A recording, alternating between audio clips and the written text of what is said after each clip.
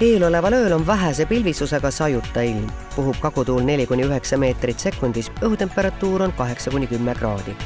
homme päeval vähese vahelduva pilvisusega sajuta ilm, puhub idatuul viis kuni kümme meetrit sekundis, õhutemperatuur on viisteist kuni seitseteist kraadi.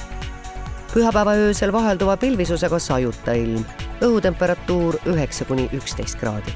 pühapäeva päeval pilvisus tiheneb, õhtupoolikul hakkab vihma sadama puhub ida- ja kagutuul seitse kuni üksteist, puhanguti kuusteist meetrit sekundis.